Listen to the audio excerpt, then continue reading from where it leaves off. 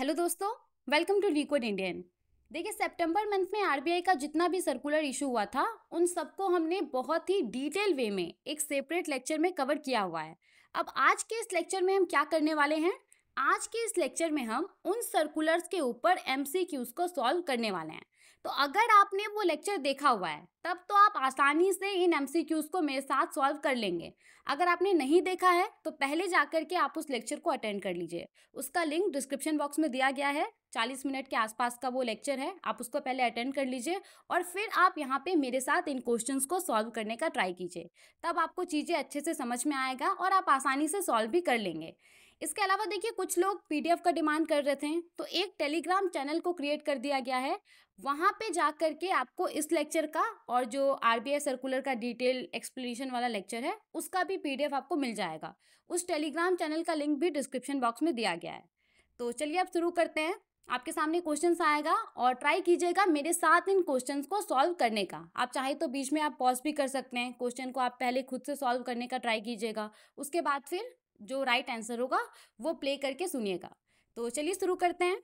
देखिए, सबसे पहला सवाल जो हमारे सामने है, इस सवाल में आपसे क्या पूछा जा रहा है कि हाल ही में अभी रिज़र्व बैंक ऑफ़ इंडिया के द्वारा यूपीआई के लिए कौन से नए फीचर को इंट्रोड्यूस किया गया है यूपीआई के स्कोप को एक्सपेंड करने के लिए? ये आपसे सवाल में पूछा जा रहा है। देखिए, चार ऑप्शन है आपके पास और इसका जो राइट आंसर है, वो है option D pre sanction credit line can be link to UPI. तो अब आरबीआई ने बोला है कि अगर आपके पास प्री सैंक्शन क्रेडिट लाइन है, जो कि आपको बैंक के तरफ़ से इशू किया गया है तो उसको आप यूपीआई से लिंक करके ट्रांजेक्शन कर सकते हैं। सबसे पहली बात तो क्रेडिट लाइन क्या होता है? तो देखिए, जैसे आपको बैंक के तरफ़ से क्रेडिट कार्ड प्रोवाइड किया जाता है, उसी प्रकार से बैंक के तरफ़ से लोगों को क्रेडिट लाइन भी इशू किया जाता है। क्रेडिट लाइन में एक लिमिट होता है। मान लीजिए कि आपको एक लाख रुपए तक का क्रेडिट लाइन इशू किया गया है। इसका मतलब होता है कि आप एक लाख रुपए तक का बोरोइंग बैंक से कभी भी कर सकते हैं।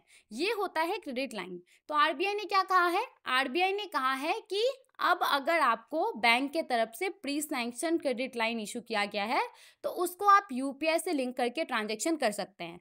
अभी तक ऐसा नहीं था। अभी तक आप सेविंग्स अकाउंट को लिंक करते थे, ओवरड्राफ्ट अकाउंट के थ्रू ट्रांजेक्शन करते थे, प्रीपेड वॉलेट के थ्रू ट्रांजेक्शन करते थे और क्रेडिट कार्ड को भी आप यूपीआई से लिंक करके ट्रांजेक्शन करते थे। लेकिन अब अगर आपके पास क्रेडिट लाइन है, बैंक की तरफ़ से इशू किया गया तो उसको भी आप यूपीआई से लिंक करके ट्रांजेक्शन कर सकते हैं। ये हो गया हमारा पहला सवाल। चलिए आगे बढ़ते हैं, दूसरे सवाल को देखते हैं। देखिए, इस सवाल में क्या पूछा जा रहा है? इसमें आपसे सबसे पहले तो यहाँ पे बोल दिया गया है कि रिसेंटली अभी आरबीआई ने प्री सैंक्शन क्रेडिट लाइन को अलाउ किया है कि इसको आप यूपीआई से लिंक करके ट्रांजेक्शन कर सकते हैं। अब इसके रिगार्डिंग आपसे सवाल पूछा जा रहा है कि किसको इशू किया गया क्रेडिट लाइन को आप लिंक कर सकते हैं यूपीआई से? देखिए, यहाँ पे एग्जैक्टली exactly पूछा क्या जा रहा है? बैंक के तरफ़ से इंडिविजुअल्स को भी क्रेडिट लाइन इशू किया जाता है और बिजनेसेस को भी क्रेडिट लाइन इशू किया जाता है।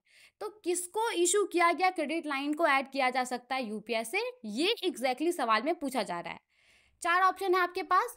Option A individuals option B corporates option C both A and B और ऑप्शन डी प्रोफेशनल्स देखिए, जो राइट right आंसर है, वो है ऑप्शन ए इंडिविजुअल्स इंडिविजुअल्स को स्केड्यूल कमर्शियल बैंक के द्वारा जो क्रेडिट लाइन इशू किया जाता है, उसको आप यूपीएस से लिंक करके ट्रांजेक्शन कर सकते हैं। ये हो गया हमारे पास। चलिए आगे बढ़ते हैं, दूसरे क्वेश्चन को देखते हैं। तो ये है हमारा क्वेश्चन नंबर थ्री देखिए, इसमें क्या पूछा जा रहा है? इसमें सबसे पहले तो आपको एक स्टेटमेंट दे दिया गया है। इसमें स्टेटमेंट दे दिया गया है कि बैंक का जो टोटल डिपॉजिट होता है, उसका एक परसेंटेज बैंक को लिक्विड कैश के फॉर्म में मेंटेन करके रखना होता है, जिसको हम कैश रिज़र्व रेशियो कहते हैं। कैश रिज़र्व रेशियो का डेफिनेशन आपको यहाँ पे बता दिया गया है। अब आपसे पूछा जा रहा है कि अभी बैंकों के लिए करंट कैश रिज़र्व रेशियो क्या है? ये सवाल आपसे पूछा जा रहा है। चार ऑप्शन है इसका, और देखिए जो राइट right आंसर है वो है option D four point five zero percent अभी। कैश रिज़र्व रेशियो है बैंक के लिए। यानी कि बैंक का जो टोटल डिपॉजिट है, उसका 4.50 परसेंट बैंकों को लिक्विड कैश के फॉर्म में आरबीआई के पास मेंटेन करके रखना होता है। ये हो गया हमारा क्वेश्चन नंबर थ्री आगे बढ़ते हैं नेक्स्ट क्वेश्चन को देखते हैं। देखिए, इस क्वेश्चन को किस तरीके से फ्रेम किया गया है? सबसे पहले इस क्वेश्चन में आपको बता दिया गया है कि आरबीआई ने अभी आईसीआरआर को अनाउंस किया है। टेम्पोरी मेजर के तौर पे बैंकिंग सिस्टम के अंदर जो एक्सेस लिक्विडिटी है, उसको एब्जॉर्व करने के लिए। अब आपसे यहाँ पे पूछा जा रहा है कि कितने परसेंट आईसीआरआर को आरबीआई ने अनाउंस किया है? आईसीआरआर का मतलब क्या होता है? Incremental cash reserve ratio. तो कितने percent incremental cash reserve ratio को आरबीआई ने अनाउंस किया है? ये आपको यहाँ पे बताना है। देखिए, चार ऑप्शन है। आपका जो राइट आंसर होगा, जल्दी से बताइए वो क्या है? Option D, ten percent. तो बैंकों को आरबीआई ने कहा कि 19 मई 2023 और 28 जुलाई 2023 के बीच में बैंकों के अंदर जो टोटल डिपॉजिट में इंक्रीज आया है तो उस इंक्रीज अमाउंट का 10 परसेंट बैंकों को इंक्रीमेंटल कैश रिज़र्व रेशियो के तौर पे आरबीआई के पास मेंटेन करके रखना होगा। ये आरबीआई ने कहा था। अब देखिए, आरबीआई के द्वारा ये फैसला क्यों लिया गया था? तो जैसा कि आपको पता है कि मई के महीने में आरबीआई ने अनाउंस किया था कि दो हज़ार रुपये का जो नोट है, जितना भी नोट है सर्कुलेशन में, उसको सर्कुलेशन से निकाला जाएगा। तो इससे क्या हुआ? लोगों के पास जो भी दो हज़ार रुपये का नोट था, लोगों ने उनको बैंक में या तो जमा कर दिया या तो एक्सचेंज कर दिया। जिसके वजह से हुआ क्या कि बैंकिंग सिस्टम के अंदर बहुत ज़्यादा लिक्विडिटी आ गया। तो उस लिक्विडिटी को एब्जॉर्व करने के लिए आरबीआई ने बैंकों को कहा कि आप जो 4.5 परसेंट का कैश रिज़र्व रेशियो मेंटेन करते हैं, उसके अलावा आपको जो इंक्रीज अमाउंट है डिपॉजिट टोटल डिपॉजिट में जो इंक्रीज आया है तो उस इंक्रीज अमाउंट का आपको 10 percent incremental cash reserve ratio maintain करना पड़ेगा। और आरबीआई ने पहले ही कह दिया था कि ये टेम्पोरी मेजर है, ये हमेशा के लिए नहीं होगा, ये टेम्पोरी मेजर है, जो एक्सेस लिक्विडिटी है, उसको एब्जॉर्व करने के लिए। तो ये सवाल था। चलिए आगे बढ़ते हैं, दूसरे क्वेश्चन को देखते हैं। देखिए, इस क्वेश्चन में अब आपसे क्या बोला जा रहा है? इस क्वेश्चन में आपसे बोला जा रहा है कि आरबीआई ने अभी ये डिसाइड किया है कि वो इंक्रीमेंटल कैश रिज़र्व रेशो के अंडर आरबीआई के पास जो भी अमाउंट जमा है तो उसको आरबीआई स्टेजेस में रिलीज़ कर देगा। ये आपसे सबसे पहले बोल दिया गया है कि आरबीआई उसको स्टेजेस में रिलीज़ कर देगा। इंक्रीमेंटल कैश रिज़र्व रेशियो के तौर पे आरबीआई के पास जो भी अमाउंट है, उसको आरबीआई स्टेजेस में रिलीज़ कर देगा। अब आपसे पूछा जा रहा है कि आप बताइए कि कितने फेसेस में RBI incremental cash reserve ratio को डिसकंटिन्यू करने वाला है? तो ये आपसे पूछा जा रहा है। देखिए, यहाँ पे आपके पास ऑप्शन है और जो राइट आंसर है, वो है option B three three phases में आरबीआई ने निर्णय लिया है कि वो इंक्रीमेंटल कैश रिज़र्व रेशियो को डिसकंटिन्यू करेगा। ये क्वेश्चन था। अब किस तरीके से तीन फेसेस में इंक्रीमेंटल कैश रिज़र्व रेशियो को डिसकंटिन्यू किया जाएगा? देखिए, यहाँ पे आप देख सकते हैं। तो पहले फ़ेज़ में 25 परसेंट जो इंक्रीमेंटल कैश रिज़र्व रेशियो के तौर पे अमाउंट मेंटेन था, उसको आरबीआई रिलीज़ कर देगा। फिर 25 परसेंट रिलीज़ कर देगा और उसके बाद फिर फिफ्टी परसेंट आईसीआरआर जो मेंटेन है, उसको आरबीआई रिलीज़ कर देगा सात अक्टूबर 2023 को।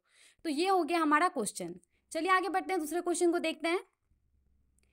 देखिए, इस क्वेश्चन में आपसे पूछा जा रहा है कि अभी हाल ही में जो रिसेंट डेवलपमेंट आया है रिस्पॉन्सिबल लेंडिंग कंडक्ट के ऊपर तो आरबीआई ने रेगुलेटेड एंटिटीज को कितने दिनों के अंदर कहा है कि वो प्रॉपर्टी डॉक्यूमेंट को रिलीज़ कर देगा? अगर कोई बॉरोवर लोन का रीपेमेंट कर देता है तो रीपेमेंट के कितने दिनों के अंदर रेगुलेटेड एंटिटीज को उसके पास जो प्रॉपर्टी डॉक्यूमेंट होगा, उसको रिलीज़ करना होगा? तो यहाँ पे आपसे क्या पूछा जा रहा है? नंबर ऑफ़ डेज़ आपसे पूछा जा रहा है।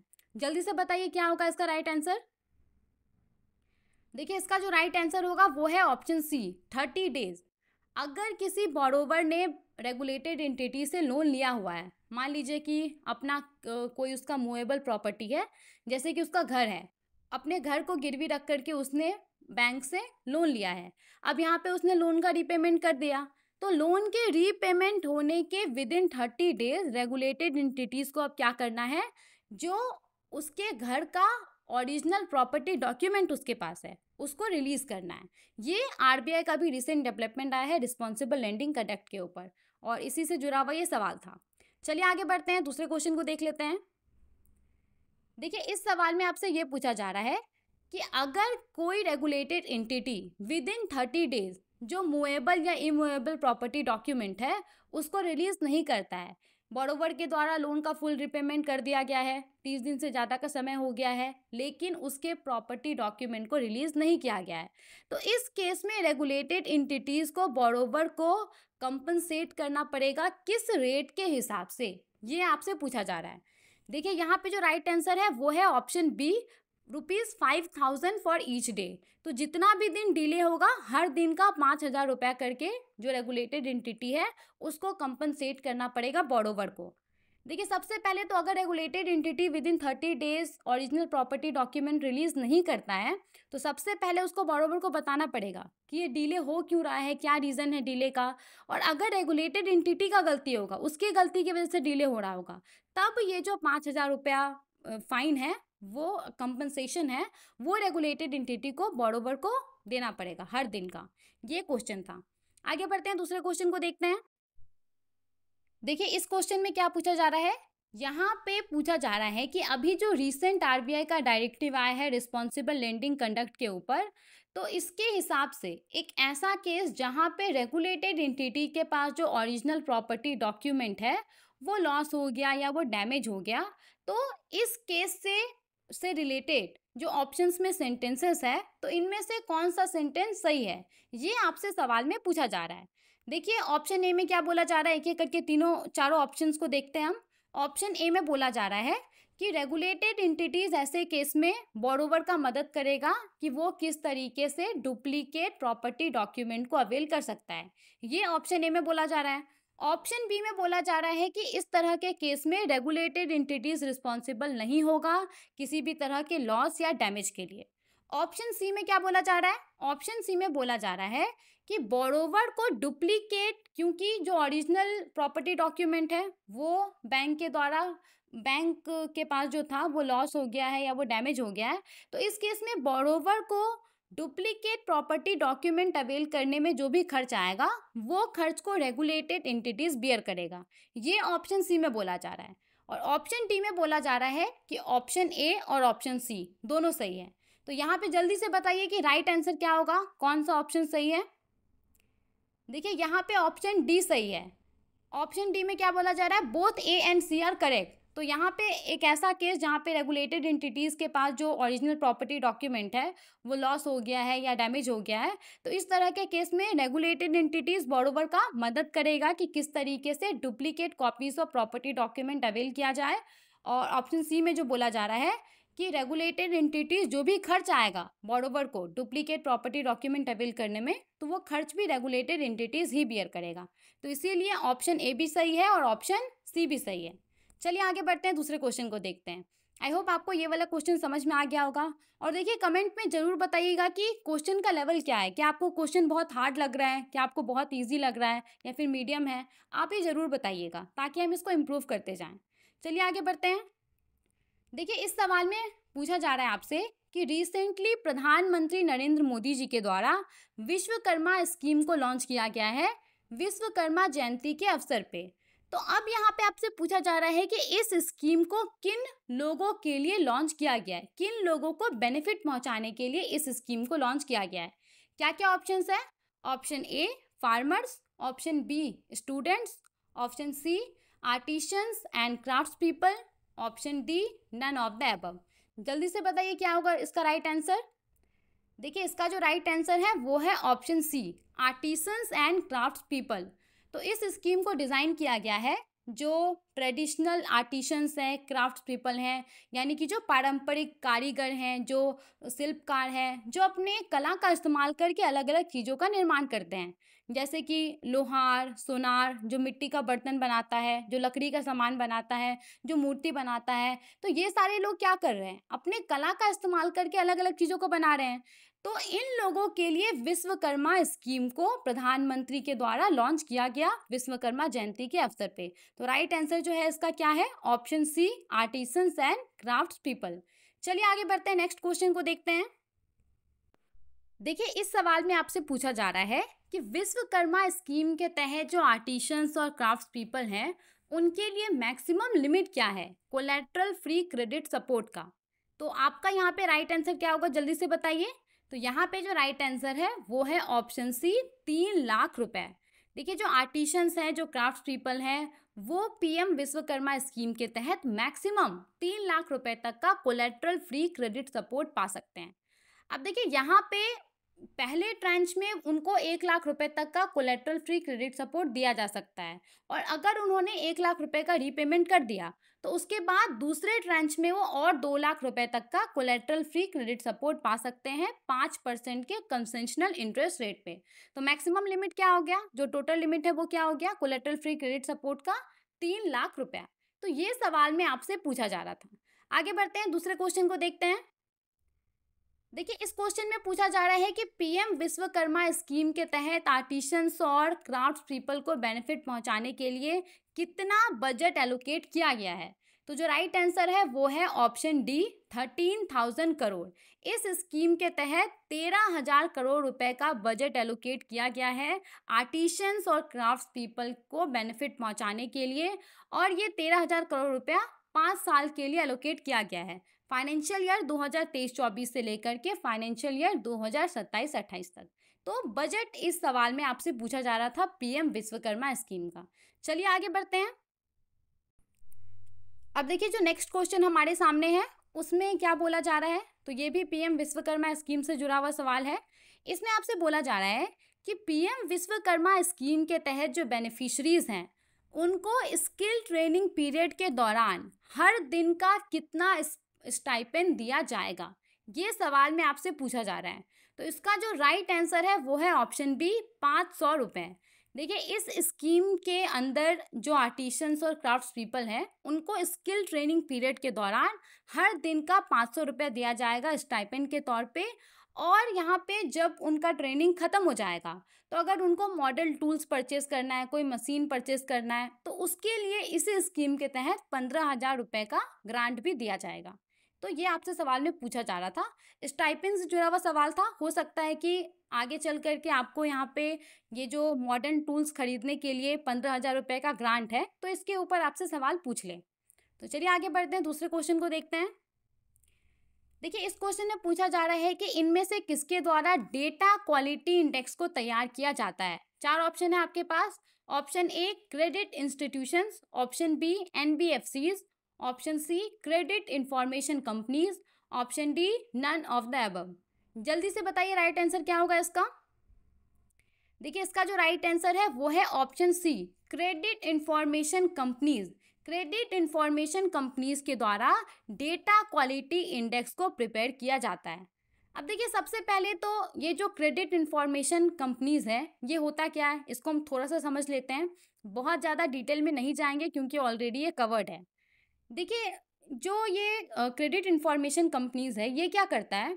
अलग अलग सोर्सेज से, बैंक से, फाइनेंशियल इंस्टीट्यूशन से, लेंडर से और जो क्रेडिट ग्रांटिंग एंटिटीज़ है, उन सबसे डेटा कलेक्ट करता है और फिर इसको कंपाइल करके क्रेडिट रिपोर्ट तैयार करने का काम करता है। अब होता क्या है?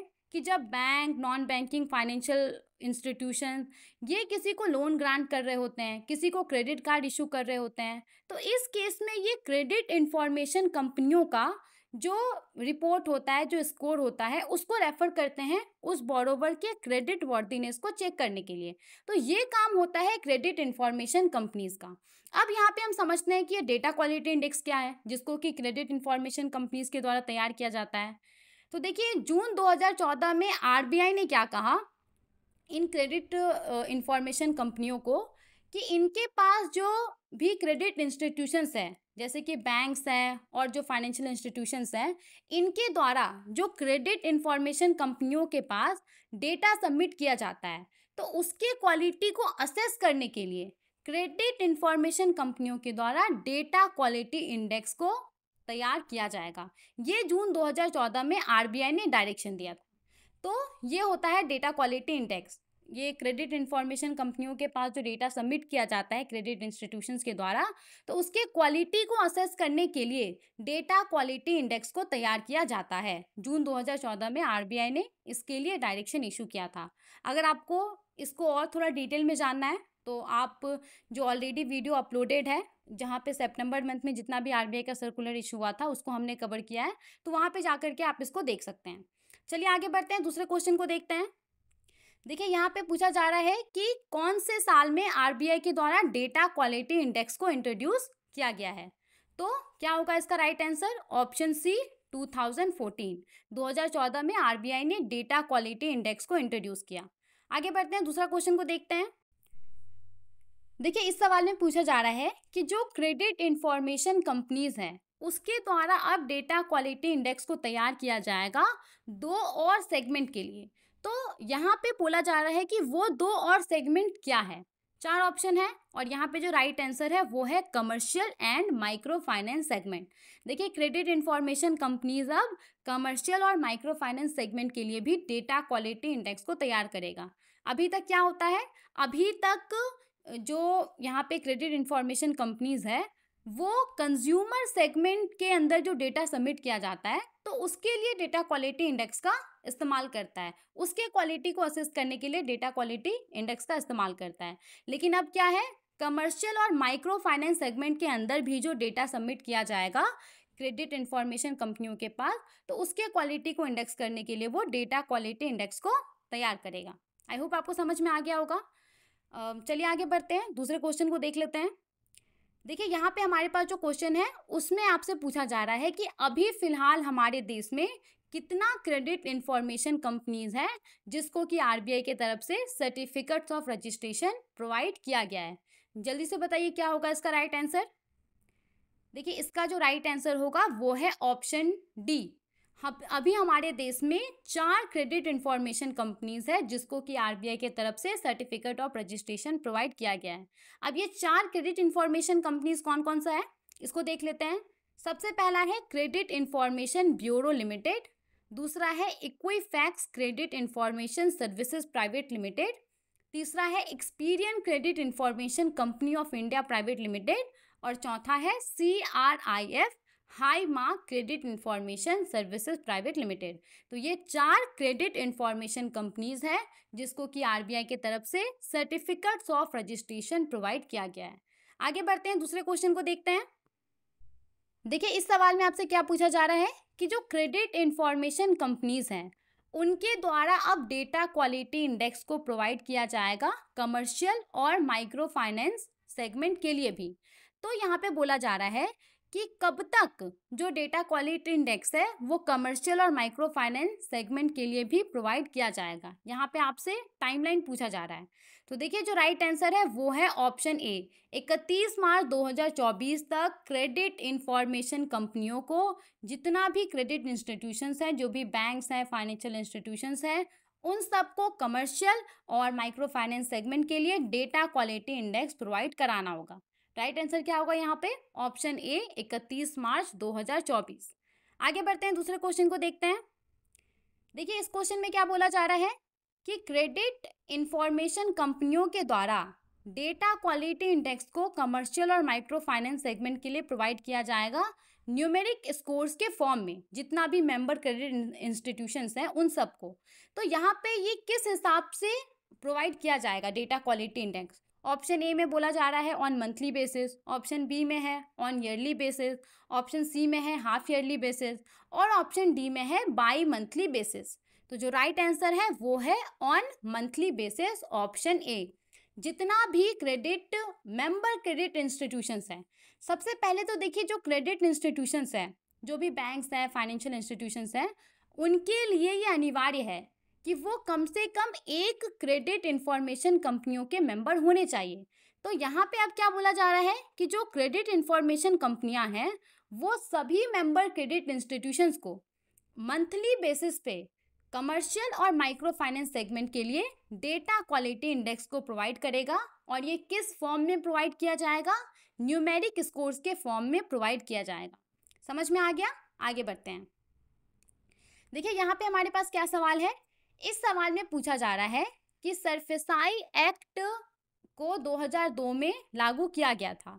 इनमें से किस चीज़ को एड्रेस करने के लिए, किस इशू को एड्रेस करने के लिए 2002 में सरफेसाई एक्ट को लागू किया गया था, ये आपसे सवाल में पूछा जा रहा है।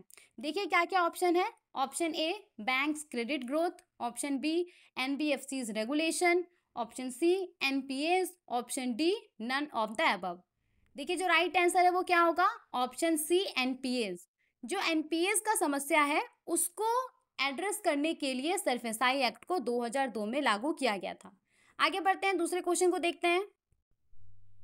देखिए, यहाँ पे जो हमारे पास सवाल है, इसमें पूछा जा रहा है कि as per recent RBI circular RBI के रिसेंट सर्कुलर के हिसाब से रेगुलेटेड एंटिटीज अगर किसी बोरोवर के सिक्योर्ड एसेट के ऊपर कब्जा करता है तो उस बोरोवर से जुड़ा हुआ जो इन्फॉर्मेशन है, वो इसको डिस्प्ले करना होगा।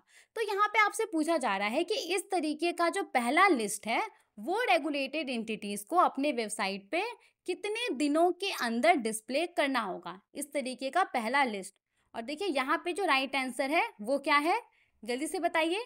यहाँ पे जो राइट आंसर है, वो है option D within six month within six month regulated entities को अगर वो किसी बोरोवर के सिक्योर्ड एसेट के ऊपर कब्जा करता है सरफेसाई एक्ट 2002 के तहत तो बोरोवर से जुड़ा हुआ जो जानकारी है, वो उसको डिस्प्ले करना होगा अपने वेबसाइट के ऊपर।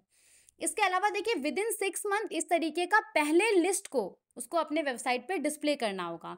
उसके बाद मंथली बेसिस पे उसको, इस लिस्ट को अपडेट भी करना होगा रेगुलेटेड एंटिटी को। समझ में आ गया ये सवाल? आगे बढ़ते हैं, दूसरे क्वेश्चन को देखते हैं। देखिए, इस क्वेश्चन में आपसे पूछा जा रहा है कि आरबीआई के द्वारा जो डेटा अनाउंस किया गया है, उसके हिसाब से 19 मई 2023 तक हमारे देश में दो हज़ार रुपये के नोट दो, कितने वैल्यू के दो हज़ार रुपये के नोट सर्कुलेशन में थे 19 मई 2023 तक। और यहाँ पे जो राइट आंसर है वो क्या होगा? यहाँ पे जो राइट आंसर है वो है option C three point five six lakh crore value के दो हज़ार रुपये के नोट हमारे देश में उन्नीस मई दो हज़ार तेईस तक सर्कुलेशन में थे।